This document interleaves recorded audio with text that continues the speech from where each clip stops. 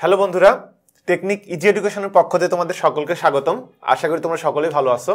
তো আজকে আমি তোমাদের একাদশ, দ্বাদশ শ্রেণির ভূগোল প্রথম পত্র নিয়ে আলোচনা করব এবং ভূগোল প্রথম পত্রের খুবই গুরুত্বপূর্ণ একটি অধ্যায়, জলবায়ুর উপাদান ও নিয়ামকের। আজকে আমরা পঞ্চম পর্বে জলবায়ুর নিয়ামক নিয়ে আলোচনা করব। তো দেখো, আমরা জলবায়ুর উপাদান ও নিয়ামক। জলবায়ু সম্পর্কে আলোচনা করছি। আমরা এই উপাদান নিয়ামক আলোচনা করতে গিয়ে জলবায়ু বিষয়টা কি সেটা জেনেছি। এবং একটা কথা তোমাদের বলেছিলাম যে, জলবায়ু সম্পর্কিত ধারণা রাখতে হলে আমাদের আবহাওয়া সম্পর্কিত ধারণাটাও কিন্তু জরুরি। কেননা, আমাদের আবহাওয়ারই কিন্তু একটা দীর্ঘস্থায়ী রূপ একটা বড় সড় রূপ হচ্ছে জলবায়ু। যা হোক সেগুলো আমরা জেনে গেছি। আজকে আমরা দেখব জলবায়ু নিয়ামক। অর্থাৎ জলবায়ু নিয়ামকগুলো কি ধরনের হয়ে থাকে, কোথায় কি ধরনের হয়ে থাকে, এটা কার উপর নির্ভর করে, সেই বিষয়গুলো নিয়ে কিন্তু আজকে আমরা আলোচনা করব। তো জলবায়ু নিয়ামকের কথা যদি বলতে যাই সেই ক্ষেত্রে আমরা সর্বপ্রথম পাবো হচ্ছে অক্ষাংশ।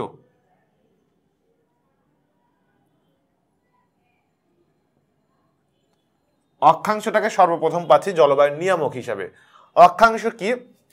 যে এই অক্ষাংশের ওপর ভিত্তি করে জলবায়ুর ধরনটা চেঞ্জ হয়। বিশেষ করে দেখো, আমরা যদি নিরক্ষরেখার নিরক্ষরেখাতে থাকি, সে নিরক্ষরেখাতে কিন্তু সূর্য সবসময় লম্বভাবে কিরণ দেয়। এই নিরক্ষরেখা থেকে আমরা যত উত্তর দিকে যাই বা যত দক্ষিণ দিকে যাই, আমাদের কি হবে?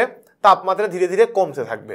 এবং বলা হয় যে নিরক্ষরেখা থেকে এক ডিগ্রি পরিমাণে, এক ডিগ্রি স্থানান্তরিত হওয়ার ফলে এক ডিগ্রি তাপমাত্রা কিন্তু কমতে থাকে। তাহলে কি হচ্ছে? এই যে জলবায়ু, জলবায়ুটা কার রূপ আসতেছে? আবহাওয়া থেকে জলবায়ুটা আসতেছে।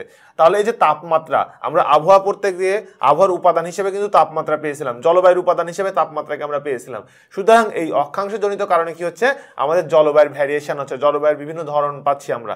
এই কারণে আমরা জলবায়ুর নিয়ামক হিসেবে অক্ষাংশটাকেও আমরা একটা গুরুত্বপূর্ণ নিয়ামক হিসেবে ধরে নিচ্ছি। এরপর দেখো দুই নম্বর হচ্ছে উচ্চতা।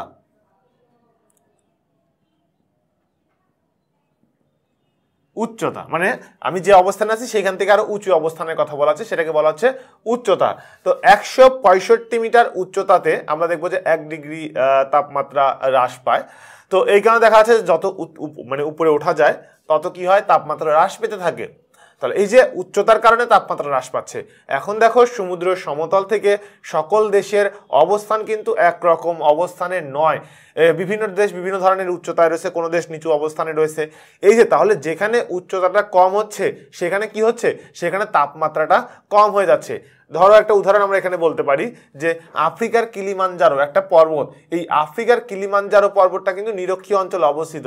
নিরক্ষীয় অঞ্চলে সূর্য সবসময় লম্বভাবে কিরণ দেয়। তো নিরক্ষীয় অঞ্চলে অবস্থিত হওয়া সত্ত্বেও আমরা দেখব যে এই আফ্রিকার কিলিমিনজারো পর্বতে আমরা বরফ জমতেছে। কেন জমতেছে? যে বরফ জমার পেছনে একটাই কারণ, এর উচ্চতাটা অনেক বেশি। উচ্চতা হওয়ার কারণে সেখানে তাপমাত্রা ধীরে ধীরে কমা শুরু করতেছে। কমার কারণে তাপমাত্রা যদি কমে যায়, তাহলে সেখানে হিম মানে বরফ জমা পড়বে, বরফ জমবে, এটাই স্বাভাবিক। এই কারণে আমরা কি দেখি যে আফ্রিকার কিলিমানজারোতে বরফ জমে যাচ্ছে। তাহলে এটা কি কারণে হচ্ছে? এটা উচ্চতার কারণে হচ্ছে।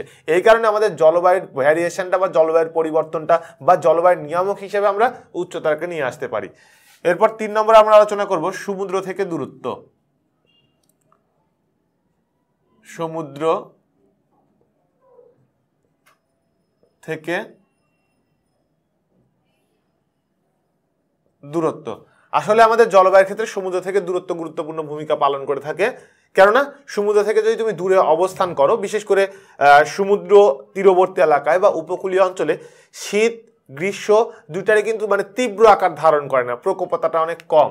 অর্থাৎ অনেক তাপমাত্রা বেশি হচ্ছে, এরকম কিন্তু আমরা সমুদ্র থেকে মানে আমাদের সমুদ্র তীরবর্তী এলাকায় দেখি না। কিন্তু সমুদ্রের সমতল থেকে দূরে যে এলাকাগুলো অবস্থান করতেছে, সেখানে দেখবা কি হচ্ছে? যে সেখানে গরমের সময় তাপমাত্রা বেশি হয়, শীতের সময় শীতের প্রকোপটাও কিন্তু বেশি হয়। এই কারণে কি হচ্ছে? যে সমুদ্রের অবস্থান, এই সমুদ্রের অবস্থানটা আমাদের জলবায়ুর নিয়ামক হিসেবে কাজ করতেছে। অর্থাৎ সমুদ্রের অবস্থানের কারণে আমাদের জলবায়ুর কি হচ্ছে? ভ্যারিয়েশন আমরা পাচ্ছি, জলবায়ুর আমরা বিভিন্ন পরিবর্তন আমরা পাচ্ছি। এই কারণে আমরা জলবায়ুর অন্যতম নিয়ামক হিসেবে সমুদ্র থেকে দূরত্ব এই পয়েন্টটাকেও কাউন্ট করতে পারি। এরপর দেখো বায়ু প্রবাহের দিক। বায়ু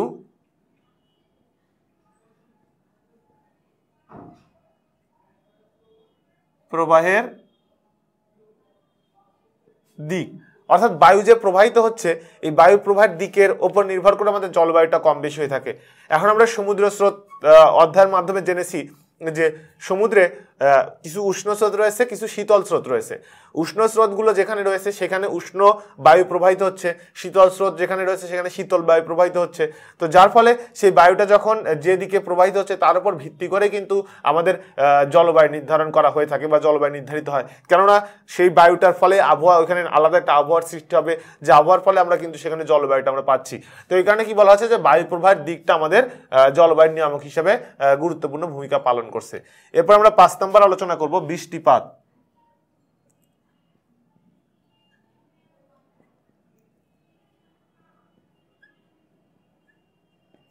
বৃষ্টিপাত এই বৃষ্টিপাতটা আমাদের জলবায়ুর অন্যতম নিয়ামক হিসেবে বিবেচিত। কেননা যেখানে বৃষ্টিপাত হয়, সেখানকার আবহাওয়া, আর যেখানে কম বৃষ্টিপাত হয়, সেখানকার আবহাওয়ার মধ্যে কিন্তু মানে ব্যাপক পার্থক্য রয়েছে। তো যেটা জলবায়ু পরিবর্তনের ক্ষেত্রে জলবায়ুর নিয়ামক হিসেবে গুরুত্বপূর্ণ ভূমিকা পালন করছে। এরপরে আমরা পাঁচ, ছয় নম্বর আলোচনা করব, সমুদ্র স্রোত।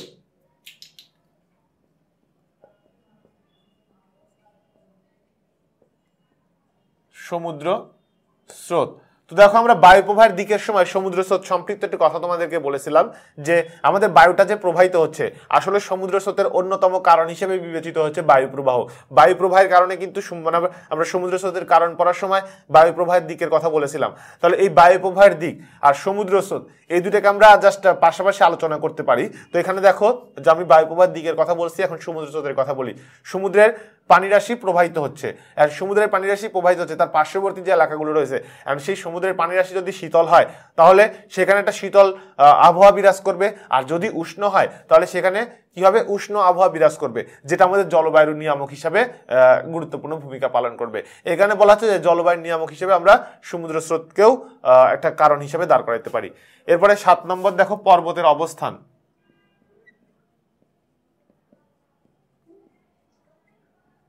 পর্বতের অবস্থান। পর্বতের অবস্থান আমাদের জলবায়ুর অন্যতম নিয়ামক হিসেবে বিবেচিত। অর্থাৎ পর্বত যেখানে অবস্থান করছে, সেখানকার জলবায়ুটা পরিবর্তন হয় এই কারণেই। কারণ সূর্যের তাপটা সেখানে তীর্যকভাবে পড়তেছে। আর যেখানে পর্বতটা রয়েছে, সেখানে লম্ব হয়ে পড়ে, পর্বতের পার্শ্ববর্তী এলাকায় তীর্যকভাবে পড়ে তীর্যক অর্থাৎ বাঁকাভাবে পড়ে, যে ফলে আমাদের কি দেখা যায়? আবহাওয়া এবং জলবায়ুর তারতম্য দেখা যায়। এরপর দেখো, আট নম্বর আমরা আলোচনা করব বনভূমি।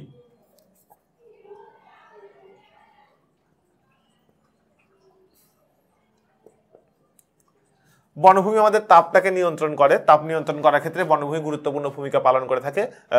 তো এই যে বনভূমির ফলে বৃষ্টিপাত সংগঠিত এখানে আমরা বৃষ্টিপাতের কথা বলেছি, যেটা আমাদের জলবায়ুর নিয়ামক হিসেবে দাঁড় করাইছি এবং এখানে আমরা বনভূমি কথা বলছি। কেননা বনভূমির মাধ্যমে যে সূর্যের কিরণটা আসতেছে, সেই সূর্যের কিরণ থেকে যে তাপটা আসতেছে, সেই তাপটা নিয়ন্ত্রণ করতেছে বনভূমি।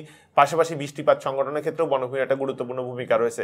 তো যে জায়গায় বনভূমির পরিমাণ বেশি, সেখানকার জলবায়ু এবং অন্যান্য অঞ্চলের জলবায়ুর মধ্যে অবশ্যই পার্থক্য দেখা দিবে। তো এই কারণে বনভূমিটা হচ্ছে আমাদের আহ, জলবায়ুর নিয়ামক হিসেবে বিবেচিত। এরপরে দেখো নয় নম্বর হচ্ছে ভূমির ঢাল। ভূমির ঢাল এবং আমরা সর্বশেষ আরেকটি বিষয় নিয়ে আলোচনা করব সেটা হচ্ছে মাটির বিশেষত্ব। মাটির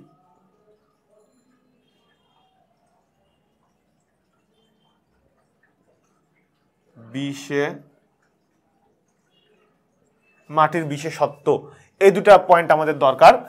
আমরা ভূমির ঢাল বললাম যে ঢালের ওপর নির্ভর করে আমাদের জলবায়ু নির্ভর করে।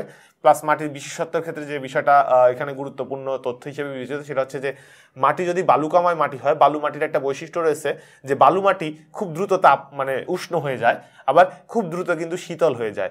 তো এই কারণে দেখবা যে মরুভূমি অঞ্চলে, মরুভূমি যে অঞ্চলগুলো রয়েছে, সেখানে কিন্তু দেখা যাচ্ছে যে সারাদিন প্রচণ্ড উষ্ণ থাকে, উত্তাপ থাকে। আবার কি দেখা যায়? যে সেটা শেষ রাতের দিকে এসে, অর্থাৎ রাত্রি যখন শেষ হয়ে যাচ্ছে, শেষ রাতের দিকে এসে উষ্ণতাটা কিন্তু কি হয়ে যায়? কমে যায়, আবার শীত ভাব চলে আসে। কেন? এই যে বালিকা মাটিগুলো যে উষ্ণ হয়ে গেছে সূর্যের কিরণের ফলে, সূর্যের তাপের ফলে, সেটা আবার কি হয়? খুব দ্রুত আবার শীতল হয়ে যায়, যেটা হচ্ছে মানে একটা গুরুত্বপূর্ণ দিক। আর এঁটেল মাটি বা দোআঁশ মাটির ক্ষেত্রে কি হয়? সেই মাটিগুলো উষ্ণ হতেও সময় লাগে, পাশাপাশি সেটা আবার শীতলতা, শীতল পর্যায়ে আসতেও সময় লাগে। এর ফলে মাটির বিশেষত্বের উপর নির্ভর করে জলবায়ু নির্ধারণ করা হয়। তো জলবায়ু নিয়ামকের ক্ষেত্রে এখানে যে আমরা মাটির বিশেষত্বের কথা বলতেছি, এই মাটির বিশেষত্ব আমাদের জলবায়ুর অন্যতম গুরুত্বপূর্ণ নিয়ামক হিসাবে বিবেচিত। তাহলে এই যে আমরা দশটা পয়েন্ট জানলাম, এই পাশে পাঁচটা, এই পাশে পাঁচটা, এই দশটা পয়েন্ট পরীক্ষাতে যদি জলবায়ু নিয়ামক সম্পর্কিত কোনো প্রশ্ন করা হয়, সেক্ষেত্রে আমরা এই দশ, দশটি পয়েন্ট সুন্দর করে বর্ণনা করে দেবো। এখানে যদি আমাদের লেখা বেশি হয়ে যাচ্ছে, সেক্ষেত্রে আমরা কি করতে পারি? যে এখান থেকে পাঁচ, ছয়টি পয়েন্ট দিয়ে বাকিগুলো আমরা এভাবে লিখতে পারি যে এছাড়া পর্বতের অবস্থান, বনভূমি, ভূমির ঢাল, মাটির বিশেষত্ব, জলবায়ুর অন্যতম নিয়ামক হিসাবে বিবেচিত। তো এইভাবে যদি আমরা লিখে দিই, তাহলে এখানে স্ট্যান্ডার্ড একটা নম্বর আমরা পরীক্ষাতে পেয়ে যাব। তো বন্ধুরা, আজকের ক্লাস আমাদের এই পর্যন্তই। পরবর্তীতে আমরা এই অধ্যায়ের বাকি যে টপিকগুলো রয়েছে, সেগুলো নিয়ে ধারাবাহিকভাবে আলোচনা করব। তোমরা সকলেই ভালো থাকো। ধন্যবাদ সবাইকে।